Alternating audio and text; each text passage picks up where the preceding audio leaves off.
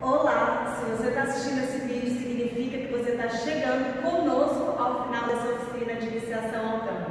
Agora, nesse módulo, trabalharemos o movimento do oito cortado.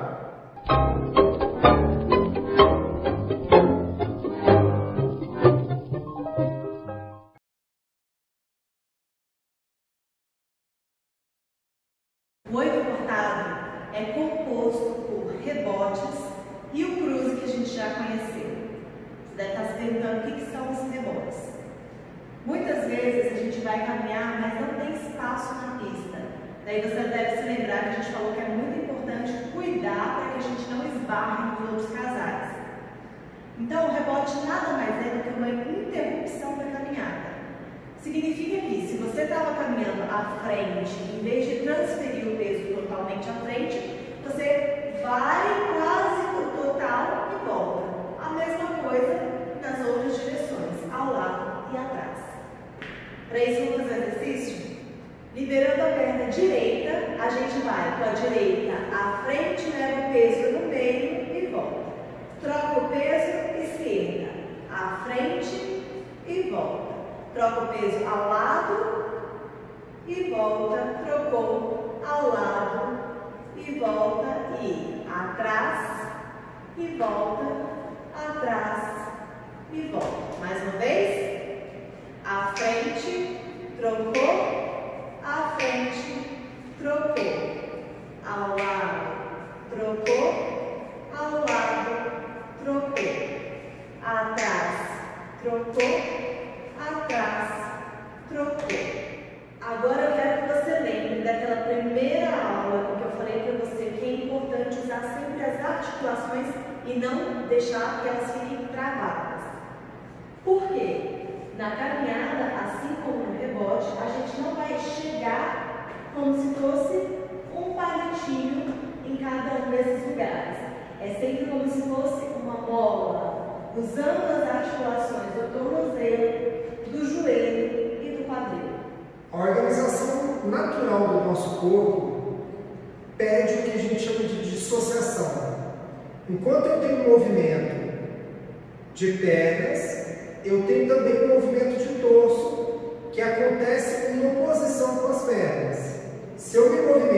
movimento levando a perna direita à frente, o meu torso ele fecha o lado esquerdo para compensar esse peso. Você não vai ver ninguém caminhando na rua, levando torso e pernas juntos. Não, a gente caminha sempre como? Levando as mãos ao contrário das pernas. É muito importante isso para o rebote para a gente poder estabilizar o movimento. Voltar, palmas voltadas de frente para você. O que eu faço? eu vou com a perna direita à frente e trago o lado esquerdo para compensar esse movimento. Fecha. E agora esquerda, braço direito. Perna direita, braço esquerdo. Perna esquerda, braço direito. E aí a gente começou a trabalhar dissociação. A mesma coisa a gente faz aqui para trás. Sempre com o torso em direção à perna da frente. Então, se a perna direita está indo atrás, eu vou com o meu torso para minha perna esquerda. E troco o peso, dissocia, troca o peso, rebote, troca o peso, rebote, troca o peso, rebote. Sua vez de colocar aquela música, pausar o vídeo e praticar. Você vai fazer? À frente, trocou, à frente, trocou, atrás, trocou. E mais uma vez. Frente, frente e atrás, atrás.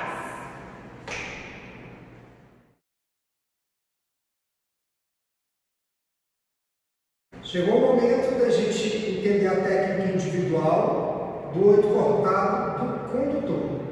Começando com a perna esquerda, eu vou à frente, rebote, caminhar atrás, junto os pés eu faço rebote com a direita e fecho. Esse rebote eu faço praticamente junto às pernas. Rebote, fecho.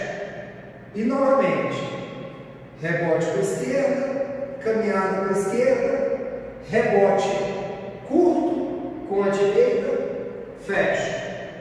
E um, dois, três, e um, dois, três. Eu vou pedir para que a gente marque todos os tempos para que ele seja mais ritmo. Então com a esquerda eu faço um, dois, três, e com a direita, um, dois, três.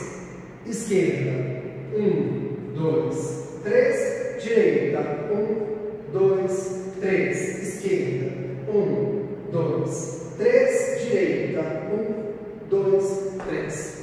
A marca, como a gente observou, ela é a dissociação. Muito bem. Eu começo com a perna esquerda rebote e gero dissociação, marca dissociação. Dissocio, volto o caminho atrás, o conduzido vai na linha externa. Mais uma vez. Rebote, dissociação, dissociação caminhada, linha externa. Rebote, dissociação, e agora, no momento que eu retorno, eu peço que cruze as linhas. Porque esse movimento de rebote e volta gera um cruze no conduzido. Eu vou a minha perna esquerda à frente, eu fecho meu lado direito e contenho com o lado esquerdo. Lembrando sempre que a marca, ela tem um lado que oferece energia da marca, mas eu estou sempre fazendo contenção com o lado oposto. Nossa sequência como conduzido vai ser um reflexo do que estava fazendo o condutor. Então, como ele começava com a perna esquerda à frente, a gente vai começar com a perna direita atrás. E direita atrás, caminha à frente. De novo, e rebote atrás, caminha à frente. Agora a gente vai caminhar à frente de novo, isso vai virar um rebote ao lado. E a gente vai voltar cruzando uma perna na outra. Mais uma vez com as pernas, direita livre e atrás, à frente, ao lado, cruzou. De novo, atrás, à frente, ao lado, cruzou. Agora vamos entender como, além das pernas, a parte de cima também tem que participar no movimento. A gente aprendeu que no rebote tinha o quê? Dissociação. Dissociação. E a nossa caminhada à frente também vai ter dissociação, porque o meu companheiro vai estar do meu lado direito. Então vamos lá. Direita livre e rebote, dissocia, caminha à frente, dissocia. Agora vou fazer um rebote ao lado e vou voltar cruzando a perna esquerda na frente da direita. Aquele mesmo cruz que a gente aprendeu na saída del Paré. Daqui a gente poderia sair caminhando, por exemplo, ou seguir para o novo voltado. Mais uma vez comigo. Sete, oito e um, dois, três. Um, dois, três. De novo. Sete, oito e um, dois, três. Um, dois, três. Um, dois, três. Um, dois, três. Chegou o momento de fazermos o oito cortados juntos. Então, assim, na posição de prática, eu faço rebote à frente e linha externa caminhada. Lembrando sempre de manter a contenção da energia e gerar dissociação para gerar marca. Ou seja, o que, que a gente não vai fazer? Rebote e depois eu não vou caminhar pela linha de dentro do pé dele. Tá vendo que agora meu pé está aparecendo? Não. Em vez de caminhar aqui, eu quero caminhar pela linha de fora. Para isso, o ombro direito do cavaleiro tem que abrir o espaço, o corredor, para que eu ocupe esse lugar aqui. E eu tenho que manter o virado para ele. Vamos observar como isso funciona. Rebote, caminho. De novo. Rebote, caminho. O condutor faz aquela abertura, rebote e abertura, eu faço rebote ao lado e volto cruzando a frente. Rebote ao lado, cruzo a frente. rebote, dissociação, dissociação caminhada. Agora, rebote, retorno no cruze. Rebote, retorno no cruze. Mais uma vez, rebote, caminhada, rebote, cruze. E fechamento. Rebote, caminhada, rebote, cruze. Rebote, caminhada, rebote, cruze. Rebote, caminhada, rebote, cruze. Um detalhe muito importante é que com a minha perna direita eu busco ficar de frente do condutor outra vez. Vou mostrar para vocês. Então a gente faz rebote, caminhada, rebote, em vez de pisar quase no lugar, ele virar para lá e eu não ter vontade de pisar, e a gente está totalmente desconectado, a gente faz rebote, com a minha perna direita eu vou buscar a frente dele, e aí sim, quando o cruze acontece, a gente está totalmente novo. É uma parceria. Eu não posso deixar o conduzido e voltar sozinho. Não. Eu mantenho a compreensão e trago de volta para minha frente. No tango é muito importante a conexão que acontece entre as duas pessoas que estão dançando. E todas as vezes que a gente passa para um movimento que a gente não está necessariamente se enfrentando, a nossa intenção vai ser de voltar para esse abraço. Então, se eu fiz um oito à frente, por exemplo, estou aqui, em vez de vir aqui e depois terminar para cá, eu terminaria de frente para ele. A mesma coisa acontece agora na hora do cruze. A gente faz rebote, rebote, em vez de terminar ele virar para cá e eu para cá, a gente busca se enfrentar de novo.